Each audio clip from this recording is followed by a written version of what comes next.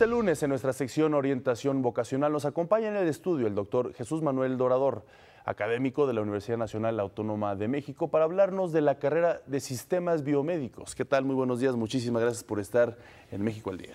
Muchas gracias. Buenos días. Buenos días a todos ustedes. ¿Cuáles son los objetivos, las metas de esta carrera?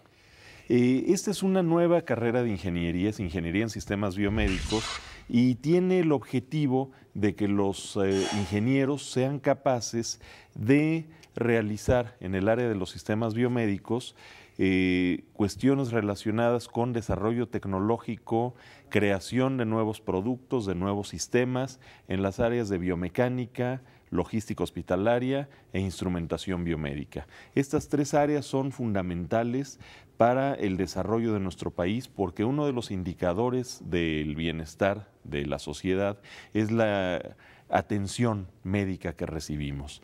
Y eh, todos estamos conscientes de que a pesar de los avances que se han tenido en estas áreas y de que hay nuevos hospitales, hay nuevas formas de planear las cosas, eh, es necesario mejorarlas aún más, que no haya esas largas filas de espera, asegurar que haya los medicamentos, saber qué hacer en casos de pandemias, epidemias y demás, todo eso tiene que ver con logística hospitalaria.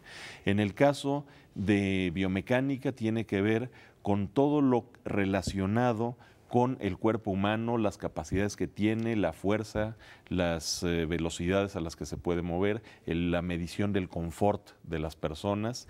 Eh, y en el caso de instrumentación biomédica, es la adquisición de las señales que producimos, electrocardiográficas, electroencefalográficas, mioeléctricas, procesar estas señales para poder ayudar a las personas, ya sea que están enfermas o que están en rehabilitación, a partir de un mejor conocimiento de cómo está funcionando su cuerpo. Eso es básicamente el objetivo, no nada más el mantenimiento de equipos, sino la creación de tecnología, el desarrollo tecnológico para nuestro país. Sin duda una carrera que se inserta en las demandas y en los retos eh, pues que pide el nuevo siglo. Por supuesto.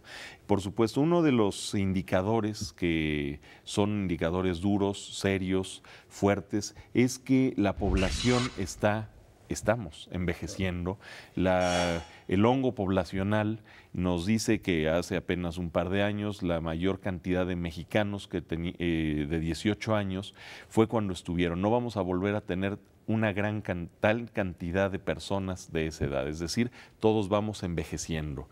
Y necesitamos crear los medios, las ayudas para que las personas podamos tener una mejor calidad de vida, tanto en la vida cotidiana como en la atención médica, hospitalaria y, y, de salud en general. Y también esto quiere decir que la UNAM obviamente se suma a la vanguardia dentro de las universidades mundiales, a nivel mundial, porque el envejecimiento no solo es en México, es generalizado, se sube, se sube a la vanguardia. Se sube a la vanguardia y además estamos con esta nueva carrera de Ingeniería en Sistemas Biomédicos creando algo que hacía falta en nuestro país, porque en muchas universidades se está enseñando, y muy bien, ingeniería biomédica, pero la ingeniería biomédica y la ingeniería en sistemas biomédicos tiene diferencias importantes.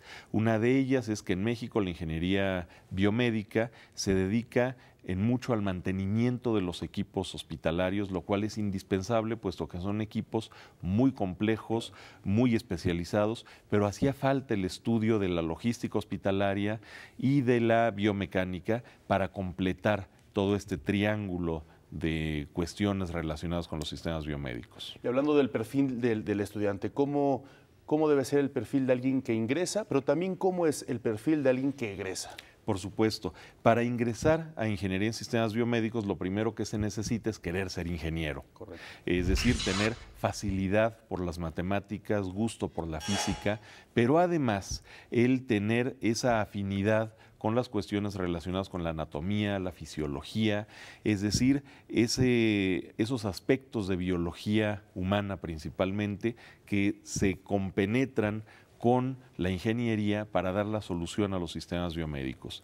En esta carrera es de ingreso indirecto, es decir, no hay un ingreso directo a ingeniería en sistemas biomédicos, precisamente por el perfil tan especial que tiene. No es como cualquier otra ingeniería, sino que se requiere un perfil adicional de este gusto por las áreas biológicas y de la salud. Para esto necesitan ingresar primero a ingeniería mecánica, industrial, eléctrica, electrónica o computación en la Facultad de Ingeniería ingeniería en Ciudad Universitaria y después solicitar su, cambio a esta carrera. El perfil de egreso es básicamente que este es el ingeniero dedicado a la creación de tecnología, al desarrollo de nuevos equipos, de nuevos sistemas, eh, en las áreas eh, relacionadas con la ingeniería y la salud además de la cuestión tan importante que comentábamos de la logística hospitalaria. Correcto. Por lo que veo, las oportunidades laborales pues son amplias. Son muy amplias porque no son nada más en el sector salud, eh, aunque tal vez sea el campo principal de trabajo, pero en todas las empresas en donde se, diseña algo relacionado con el ser humano, y ahí podemos pensar en una gran cantidad de cosas, desde industria automotriz, aeroespacial, que están teniendo un crecimiento tan grande en el Bajío, en donde las personas necesiten interactuar con los objetos, es decir, todas las cuestiones de ergonomía, las cuestiones de medicina del deporte, todo ese tipo de cuestiones son fundamentales y es a lo que se van a dedicar estos ingenieros en sistemas biomédicos. Doctor Jesús Manuel Dorador, pues muchísimas gracias por estar en México al día, compartirnos de esta gran carrera, una alternativa más para nuestros jóvenes eh, mexicanos, con además una ventana amplísima para poder eh, no solo apoyar el desarrollo de México, sino también pues, para encontrar un buen trabajo. Muchísimas por supuesto, Muchas gracias. Que pase un excelente día y lo esperamos.